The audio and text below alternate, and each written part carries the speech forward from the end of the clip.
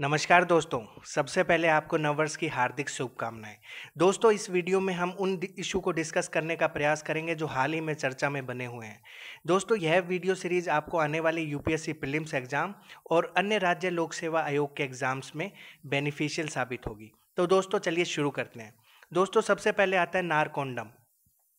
दोस्तों, नारकोंडम हॉर्नबिल पक्षियों की एक काली प्रजाति है। यह लाइफ में एक ही जोड़ा बनाता है और एक ही स्थान पर रहता है, अर्थात ये माइग्रेशन नहीं करता है। इसमें नर और मादा का रूप रंग अलग अलग होता है। यह अंडमान निकोबार में स्थित नारकोंडम नामक सुसुप्त ज्वालामुखी द्वीप में बहुतायत से पाया जाता है। दोस्तों, पक्षी की इस प्रजाति को आयुसियन रेड लिस्ट और साइट्स अपेंडिक्स दो ने लुप्त होती हुई प्रजाति बताया है, यानी इसे इंडेंजर स्पीसीज बताया गया है। दोस्तों, भारत में वाइल्ड लाइफ प्रोटेक्शन एक्ट के द्वारा इस पक्षी को सुरक्षा प्रदान की गई है। दोस्तों, अब हम यहाँ थोड़ा देख लेते हैं अंडमान निकोबार द्वीप समूह के बारे में। दोस्तों, यह द्वीप समूह बंगाल की खाड़ी में स्थित है, जो क्षेत्रफल की दृष्टि में सबसे बड़ा केंद्र शासित प्रदेश है। इसमें करीब दो छोटे छोटे द्वीप है। निकोबार में 19 द्वीप है। दोस्तों, ये द्वीप वास्तव में समुद्र में डूबे हुए पर्वत के शिखर है और इनमें लैंडफॉल द्वीप अंडमान निकोबार द्वीप समूह का सबसे उत्तरी द्वीप है। देख लीजिए दोस्तों, ये लैंडफॉल द्वीप यहाँ दिख रहा है आपको सबसे ऊपर देखिए। यह द्वीप अंडमान निकोबार द्वीप समूह का सबसे उत्तरी द्वीप है। दोस्तों, इधर आप देख लीजिए डंकन पैसेज है। डंकन पैसेज किस किस के बीच है? दक्षिणी अंडमान व लघु अंडमान के मध्य है डंकन पैसेज। और ये है, बीच में देख सकते हैं आप टेन डिग्री चैनल। दोस्तों, ten degree channel little Andaman और कार निकोबार आइलैंड को अलग करता है। सबसे नीचे है इंदिरा पॉइंट, यह भारत का दक्षिणतम बिंदु है। दोस्तों, इधर आप देख सकते हैं, फ़र्स्ट स्लाइड में नारकोंडम आइलैंड, जो सुषुप्त ज्वालामुखी है, और यहाँ पर दो सुषुप्त ज्वालामुखी है, और नीचे आप देख सकते हैं बैरन आइलैंड। दोस्तों, बैरन द्वीप एक सक्रिय ज्वालामुखी है। दोस्तों, इधर आप सैडल पीक देख सकते हैं राइट वाली स्लाइड में। दोस्तों, अंडमान निकोबार द्वीप समूह की सबसे ऊँची पर्वत चोटी सैडल पीक है, जो 730 मीटर की है। तो दोस्तों, ये देखिए वो क्वेश्चन 10 डिग्री से संबंधित जो यूपीएससी फ़िल्म 2014 में पूछा गया था कि 10 डिग्री चैनल किस किस को अलग करता है तो आंसर था ए, अंडमान एंड निकोबार। तो दोस्तों, अब आगे चलते हैं। दोस्तों, ये आता है मिशन सेवन समिट। क्या है मिशन सेवन समिट? दोस्तों, यह भारतीय वायुसेना द्वारा शुरू की गई पर्वत पर्वतारोहण अभियान की एक अनूठी श्रृंखला है।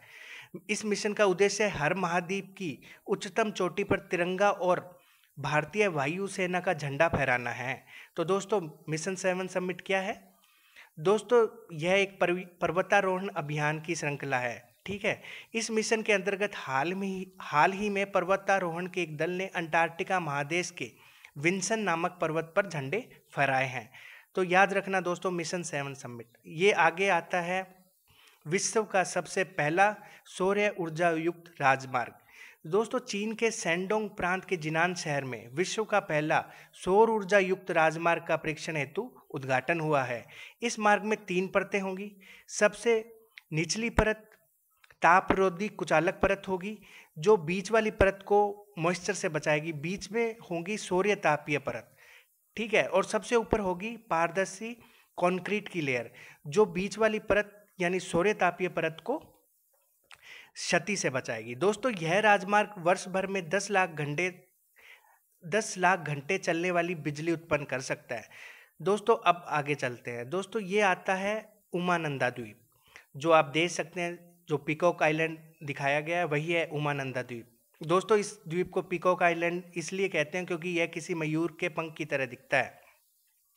दोस्तों, यह दुनिया में सबसे छोटा बसा हुआ नदी द्वीप है। दोस्तों, ये बात इंपॉर्टेंट है। याद रखना कि यह दुनिया में सबसे छोटा बसा हुआ नदी द्वीप है और यह असम में ब्रह्मपुत्र नदी पर स्थित है।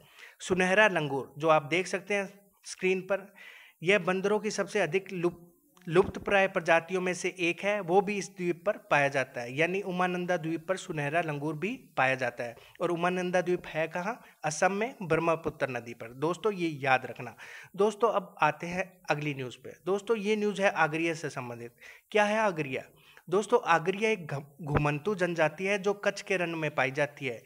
इसका मुख्य धंधा नमक बनाना है। दोस्तों, बरसात में कच्छ का रण समुद्र के जल से भर जाता है और अक्टूबर के महीने में समुद्र का जल वापस लौटने लगता है। तब आगरिया आकर नमक बनाने की जटिल प्रक्रिया शुरू कर देते हैं। तो दोस्तों, याद रखना, आगरिया नमक बनाने से संबंधित है और कच्छ के रण से संबंधित है और ये, यह एक घुमंतु जनजाति है। दोस्तों, इनका बनाया नमक, समुद्री नमक से थोड़ा भिन्न होता है, इसलिए इसे बड़ागर कहा जाता है। दोस्तों, ये भी याद रखना कि बड़ागर किसे कहते हैं? दोस्तों, जो आगरिया लोग नमक बनाते हैं, उसे बड़ागर कहते हैं। दोस्तों, आगरिया जनजाति के लोग कई रोगों से ग्रस्त होते हैं, जैसे फटी हुई चमड़ी, गंभीर नेत्र रोग, टीबी असामान्य रूप से पतली टांगे, जो उम्र के साथ नमक के संपर्क से कठोर होती चली जाती है। दोस्तों, इस प्रकार हम देखते हैं कि ये आगरी लोग काफ़ी प्रॉब्लम फेस कर रहे हैं। नमक की खेती का काम पूरा हो जाने पर ये लोग पास के गाँव में रहने चले जाते हैं। तो दोस्तों, आज के लिए इतना ही। मिलते हैं अगले वीडियो में। तब तक के लिए धन्यवाद। और हाँ आपको एक बार फिर से नए साल की हार्दिक शुभ, शुभकामनाएँ।